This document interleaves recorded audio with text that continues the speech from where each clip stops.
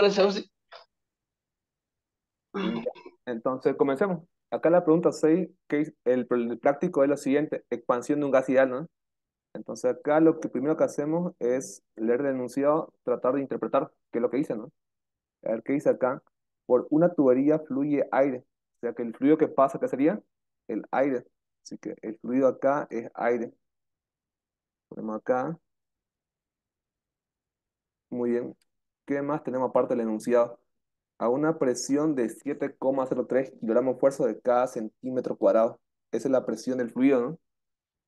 Coloquemos acá con color celeste y 200 grados centígrados, que es la temperatura del fluido, ¿no? Entonces, esto acá es la entrada de la tubería, ¿no? Así que lo ponemos justamente antes de la válvula, con esta presión y con esta temperatura de 200, ¿no? Después, ¿qué más dice el problema? Dice el problema, después se estrangula en una válvula hasta una presión de 1,03 kilogramos fuerza sobre cada centímetro cuadrado. Es decir, esa es la presión de la salida de la válvula. Pongamos esto de color plomo. Por lo tanto, esta casi es lo que es la salida, que sería el estado 2, que lo pongo justamente por acá. Muy bien. Entonces acá lo que voy a hacer es colocar, pongamos acá el estado número 1, esto, copiemos y lo pongo acá. Ahí está el estado número 1. Y el estado 2, que lo pongo en la parte de acá. Entonces, ¿qué me pide el enunciado? Me dice acá lo siguiente. Calculen la temperatura de salida. Sería acá la T2, ¿no? El problema me pide acá encontrarme el valor de la T2 de salida. Pongamos esto acá de color rojo. Muy bien. ¿Y qué dice aparte del enunciado? Nota, el CP del aire es 0,24. Es su valor de el CP, ¿no? Pongamos acá que CP, ¿cuánto vale? 0,24. Muy bien. El primer paso. ¿Cuál sería, cuál sería acá el primer paso que yo debo hacer? Debo definir el estado inicial, el estado final.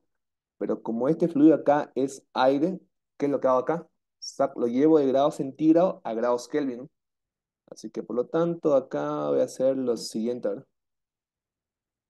De acá, como lo que es el estado número uno. Bueno, de esto acá guiémonos y lo ponemos acá.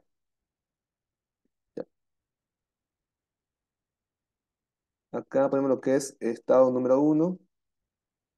Acá pongo lo que es la presión 1, que es igual a 7,03.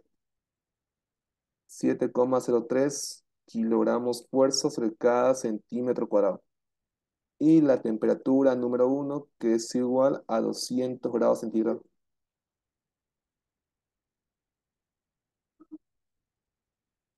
Entonces acá, ¿cómo hacemos para llevarlo? Lo llevo esto a grados centígrados a grados Kelvin. ¿Cómo lo llevo?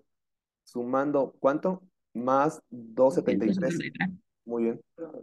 Esto acá lo tengo en grados Kelvin. ¿Sería acá cuánto?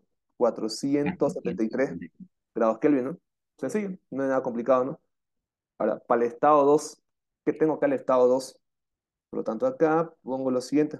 El estado 2 tengo, muy bien, una presión 2 de cuánto? 1,03. Así que acá, pongo esto acá, voy a copiarlo. Y bueno, ahí, acá pongo lo que es presión 2, que es igual a 1.03. Como no tengo nada más, ¿qué es lo que hago acá? Debo aplicar la primera ley de la termodinámica. Como acá no tengo lo que es flujo másico en propiedades intensivas, ¿no?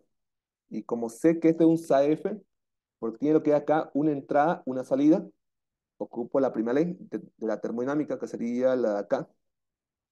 Esta es la primera ley, la voy a copiar. Y lo ponemos acá. Pongo acá primera ley del SAF. Y acá está la primera ley, ¿no? Que se encuentra ahí. Con entalpía. Con entalpía, ¿no? ¿Sí? Entonces Con acá, razón no me salía, yo lo hacía con energía interna, variación de energía interna. Ah, no, o sea, energía interna cuando es sistema cerrado. Siempre que sea cerrado, en- energía interna. Cuando es abierto con entalpía. Por eso es AF, ¿no?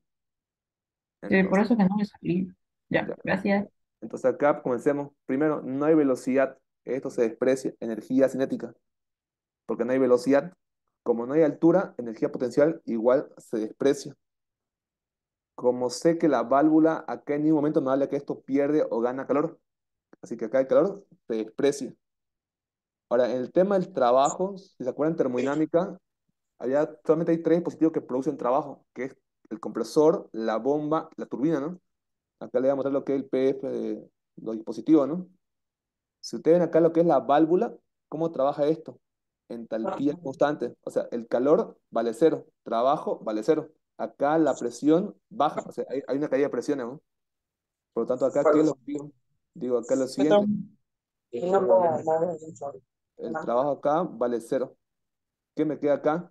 El cambio de entalpía es igual a cero. No, no, no, solamente hay hablando. Eh, por favor, si pueden apagar su micrófono. Ya, entonces acá ponemos lo que es este color negro y el cambio es igual a cero. Muy bien. Hasta acá está bien, ¿no? Ahora, ¿Quieres dar un poquito para a ver? lo Ahí se, cortó el y ahora sí.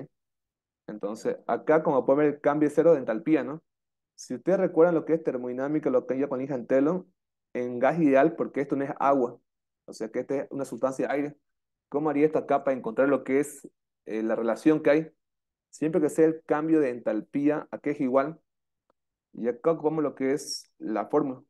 Cambio de entalpía es igual al CP Por diferencia de temperatura. ¿sí? por la temperatura final menos la T inicial, que sería T2 menos T1, ¿no? Pongo acá Sí. temperatura 2 menos temperatura número 1. Así que esto acá, pongo lo que es T1.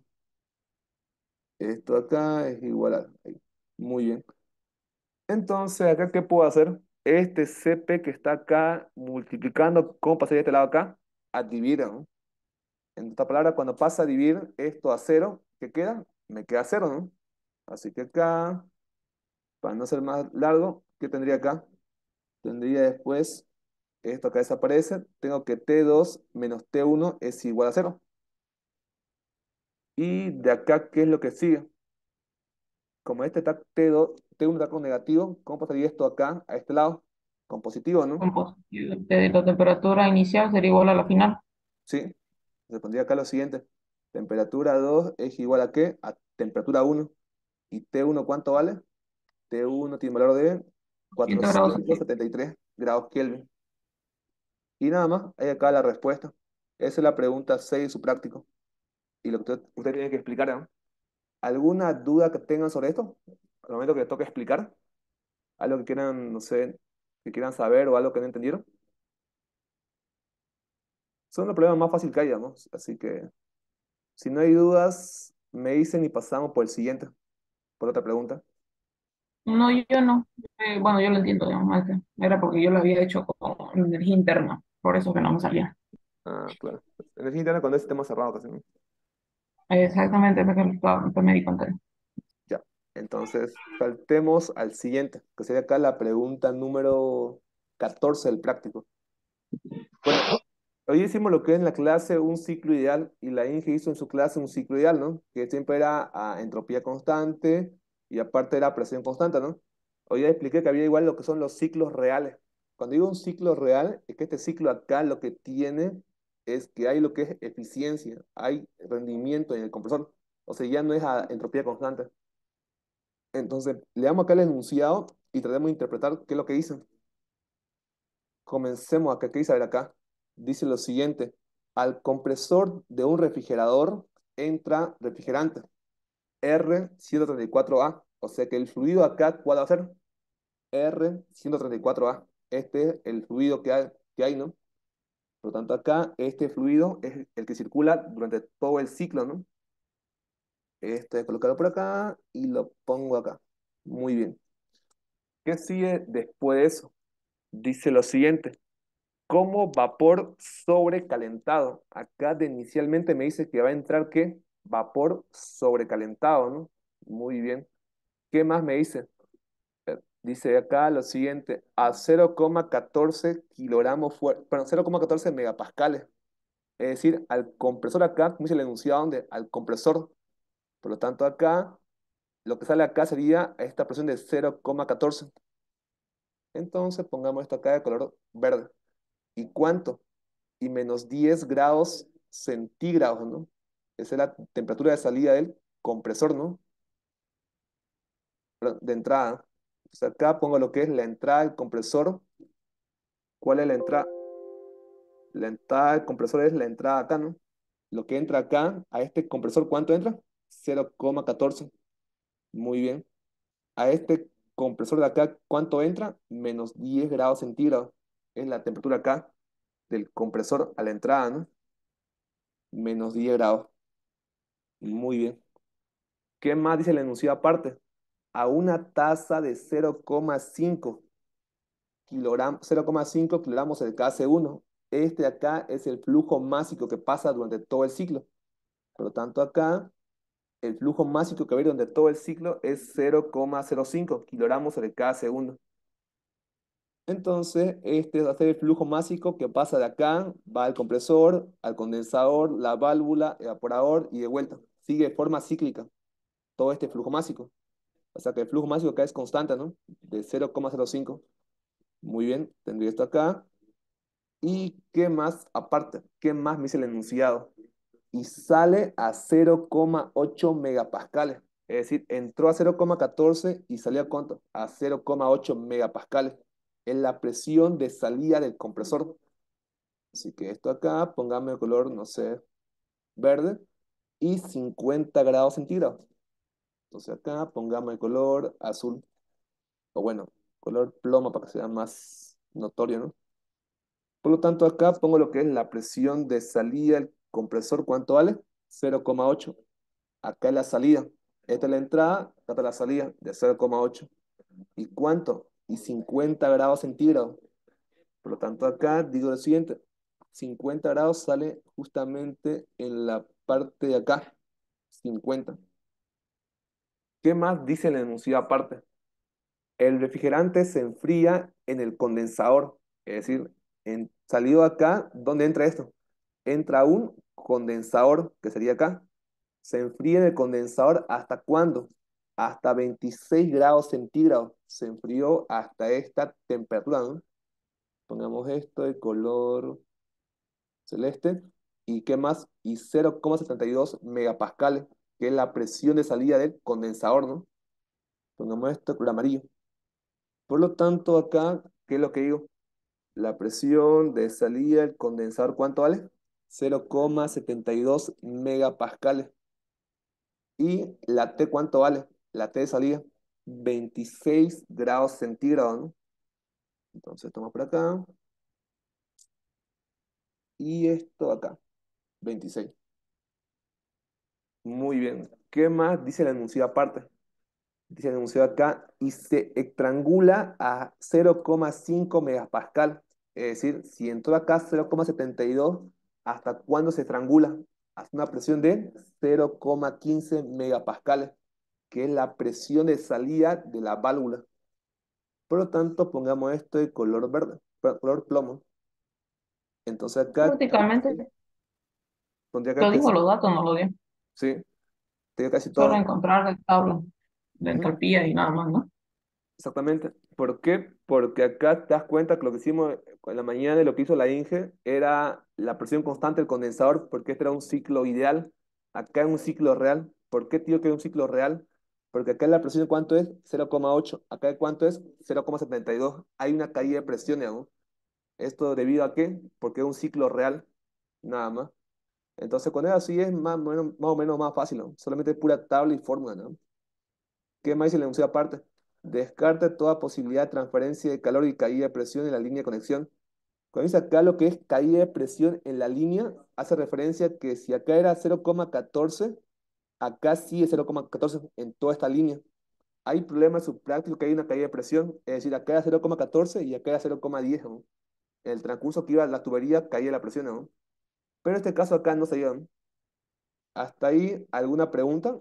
Ya interpretamos todo el problema. ¿Qué sigue acá? Inciso A, la tasa de remoción de calor. Inciso B, la potencia. Inciso C, la eficiencia. Y después el coeficiente de operación. Nada más. ¿Alguna duda hasta acá? Esto es lo más complicado, interpretar el problema. A partir de acá es manejo de tabla y después fórmula, fórmula, fórmula, fórmula y sacada con pura fórmula. Entonces, ¿duda, pregunta sobre eso? ¿De cómo interpretar el problema? Yo ninguna. Ya. De todas formas, si en algún momento no entienden algo, este, me pueden preguntar al grupo de WhatsApp que han creado, ¿no? Ahí me dicen cómo sacaste esto, cómo sacamos el otro, y igual les explico, no hay problema. Entonces, comencemos acá. Eh, comenzamos por el estado número uno, este estado acá. Entonces, ¿qué me pide acá? La gran diferencia en lo que hicimos con la, con la Inge, lo hicimos conmigo. Dice acá lo siguiente, la eficiencia isentrópica del compresor. O sea, me pide acá de cuánto es su rendimiento de este compresor. O sea que es un ciclo real, no ideal. Así que acá no es isentrópico por si acaso. ¿no? Y comenzamos. Hagamos el estado número 1, el estado 2, el estado 3 y el estado 4.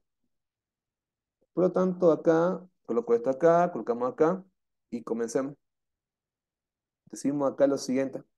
Estado número 1, presión de 0,14 megapascales. 0,14 megapascales. ¿Qué más aparte? Dice menos 10 grados centígrados. Pongo acá temperatura, menos 10 grados centígrados. Como no tengo nada más acá, ¿qué es lo que hago? Hago manejo de tabla, ¿no? ¿Qué hice acá?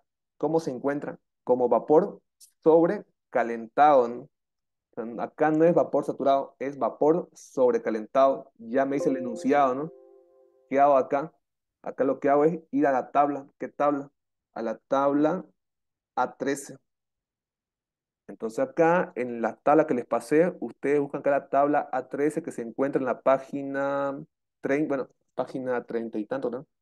La tabla A11, seguimos bajando, A12, seguimos bajando, la A13, la página 33, ¿no?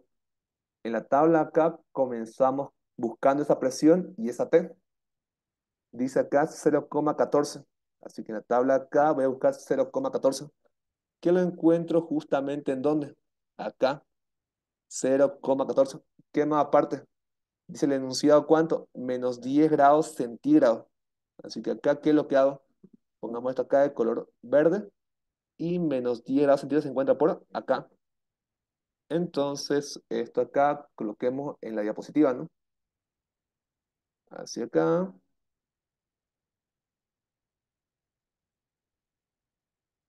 Y ahí. Menos 10. Halo ahí. De rojo. Ya.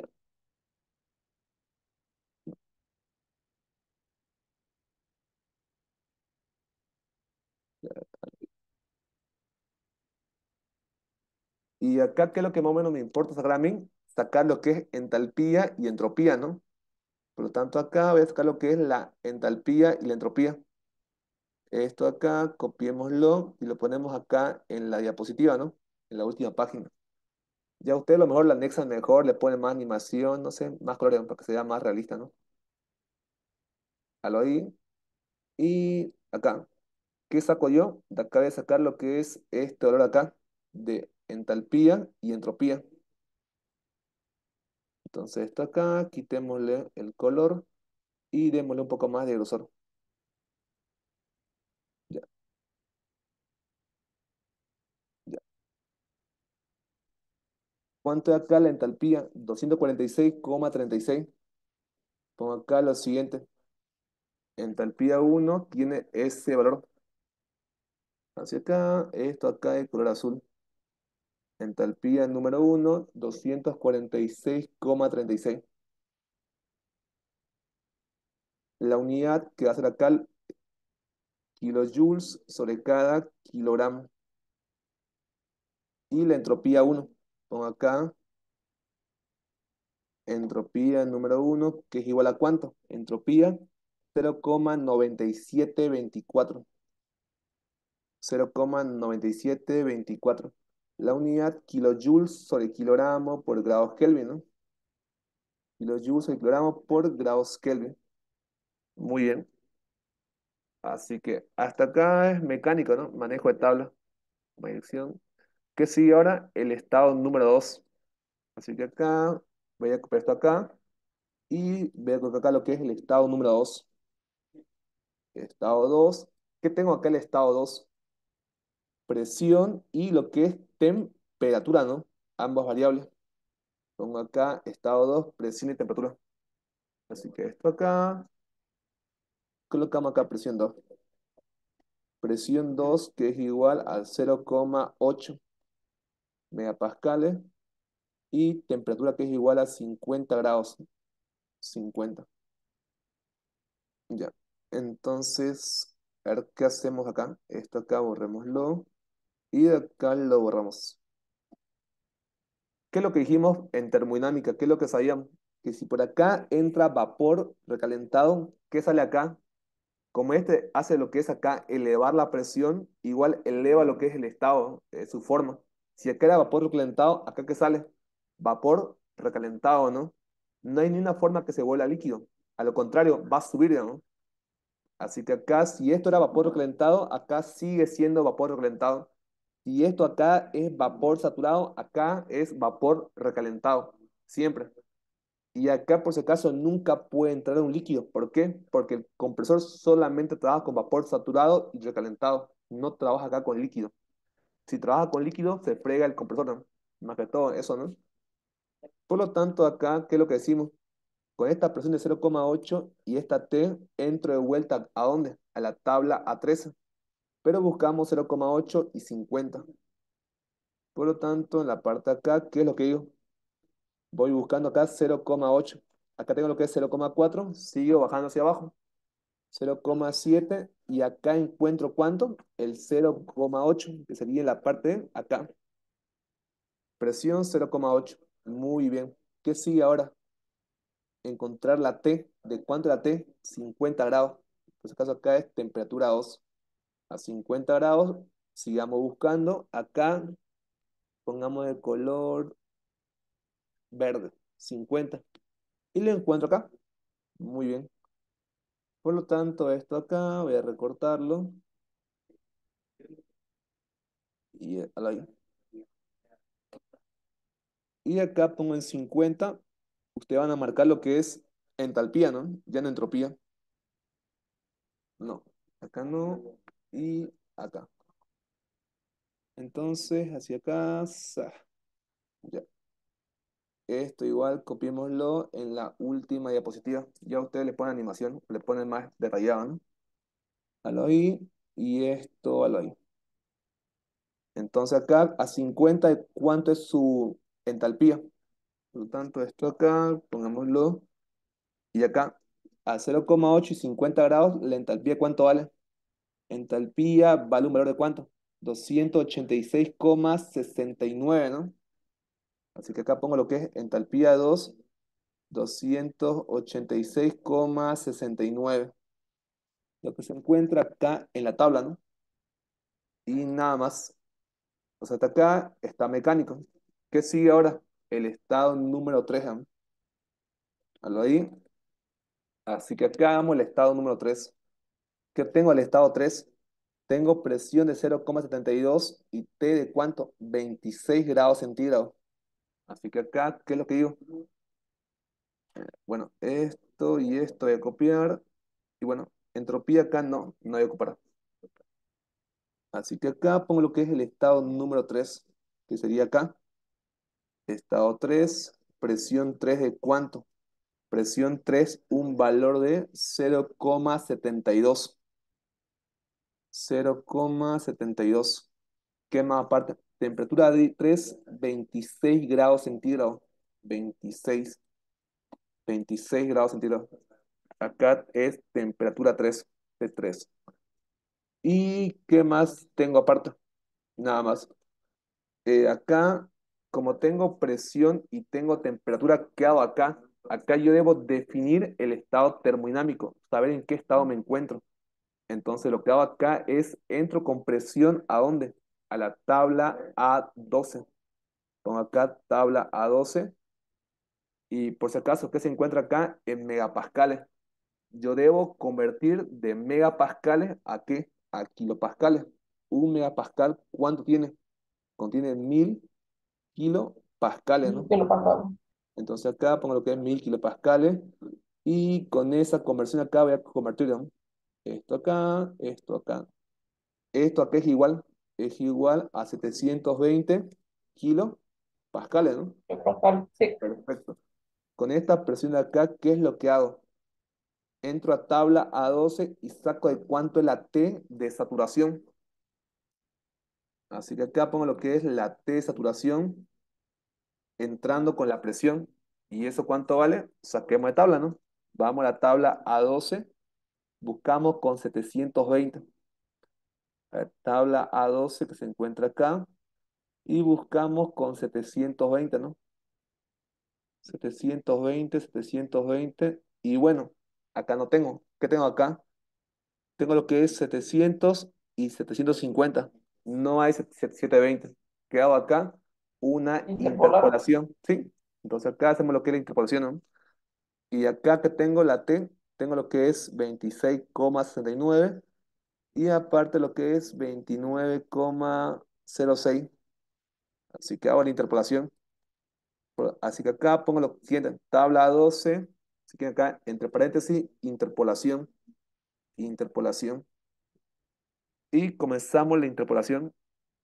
Para eso voy a sacar de acá esta cosita. Bueno, esto, esto, ya. Copiemos y lo ponemos acá. Muy bien, interpolación. Ya. Ya, interpolación. Muy bien. ¿Y acá qué pondría? Pondría acá lo que es presión, presión y acá lo que es la T. T de saturación. Muy bien. Y con esto, un poco más hacia abajo. Bueno. Al oí. Ya te... ¿Qué tengo acá? Yo tengo acá 700 y 750, ¿no? 750. Yo quiero encontrar cuánto? 720. Así que esto vale X. Para 700, ¿cuánto es su T? 26,69, ¿no? Así que acá pongo lo que es 26,69. 69. Y para 750, ¿cuánto vale? 29,06. 29,06. Entonces acá en la interpolación sacan cuánto vale X. ¿Cómo sacamos acá cuánto vale X? Por calculadora, ¿no? 27,64, Muy bien. Esa es la interpolación en grados centígrados. Así que acá copiamos esta X acá. Esto es igual a 27,64. Muy, muy bien. ¿Qué hacemos después? Debo saber en qué estado me encuentro. La temperatura 3 acá hay dos cosas. Puede que sea mayor o puede que sea menor. Acá el estado 3, 26, ¿sería mayor a 27 o es menor? Menor. No, es menor. ¿Qué digo acá? Temperatura 3 es menor que la temperatura de saturación aún. Por lo tanto, ¿en qué estado me encuentro acá? Líquido comprimido o líquido subenfriado, que es casi lo mismo, ¿no? Muy bien, digo esto, me encuentro en líquido comprimido o líquido subenfriado. Si me encuentro en ese estado, ¿qué hago yo? Yo debo entrar con esta temperatura tabla, con esta T. Yo entro a tabla y saco el valor de qué? El valor de la entalpía, ¿no? Entonces, del líquido, ¿no? Sí, del líquido. Entonces yo no entro a tabla 11. ¿A qué tabla entraría? Tabla A11. Así que acá pongo lo siguiente. Pongo tabla A11. Tabla A11. ¿Y con qué entro a tabla? Con 26 grados. Y digo acá lo siguiente. Tabla A11, la entalpía número 3, aquí es igual a la entalpía del líquido, ¿no? Entalpía 3, que es igual a la entalpía del líquido. Entalpía del líquido, de L. ¿Y eso cuánto vale? Vamos a tabla A11. Busquemos, ¿cuánto? 26, ¿no? 26. Acá voy buscando 26. Tengo 18, sigo bajando. Y acá encuentro cuánto? 26. ¿De cuánto es la entalpía del líquido? Tengo volumen específico, energía interna, entalpía. ¿De cuánto es la entalpía? La entalpía es 244,12. Así que esto acá voy a colocarlo y lo voy a colocar en la diapositiva, ¿no? En la última parte, para que ustedes puedan anexar dónde sacaron cada valor de ¿no? Entalpía estamos buscando, ¿no? Sí, me equivoqué. Era Sí. el otro. Eh, 87,83.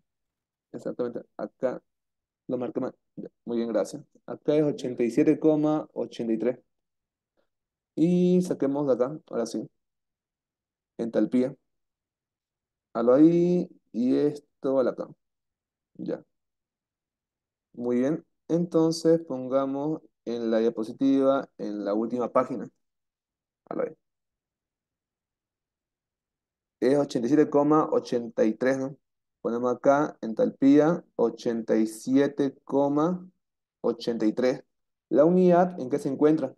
Se encuentra en kilo, kilojoules sobre cada kilogramo. Ponemos la unidad, kilojoules sobre cada kilogramo. ¿Hasta acá alguna duda que tengan? Es la tabla 11, ¿no? Entramos con 26 por si acaso. Y ahora, ¿qué sigue después? Ya hice acá el estado 3. ¿Cuál me falta? El estado 4. Cuatro. ¿Cómo saco ese estado 4? Ponemos acá, estado número 4. Muy bien, estado 4. Ya, Ahí sería con la presión que es este, 0,15 megapascales y la temperatura se mantiene constante de cada. sí, ¿No? acá, sí, como dice entálpica es la, pero más que todo no importa la entalpía. Así que esto acá, borremos todo esto acá y pongo lo siguiente. Presión número 4 que es igual a 0,15, ¿no? Muy bien. La entalpía, también se mantiene constante, ¿no? Sí, ¿por qué? Porque en la válvula, ¿cómo trabaja acá la válvula? Si ustedes vienen acá, isentálpica, ¿no? Dice acá, válvula, entalpía, constante, isentálpica. Por lo tanto, acá, ¿qué es lo que digo? Que la entalpía 4 que es igual, perdón, la entalpía 4 es igual a la entalpía 3, ¿no?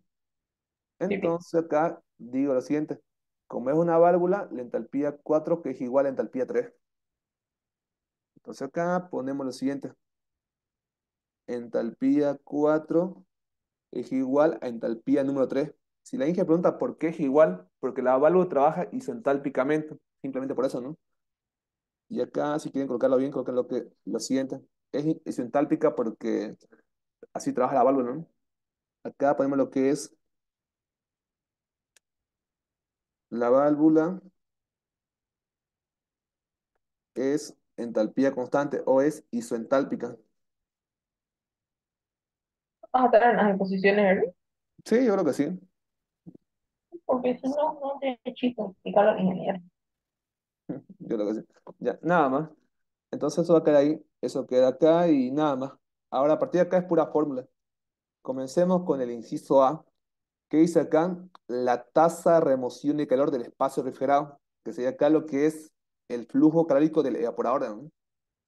Por lo tanto, acá aplicamos ¿qué? La primera ley. ¿En dónde aplico eso? Debo aplicarlo la primera ley en la parte de acá del evaporador. Entonces, eh, por favor, vuelan el mismo enlace. Se corta ahorita la reunión. Vuelan el enlace que, que les pasé ahorita, ¿no? Hace mismo vuelan. Ya.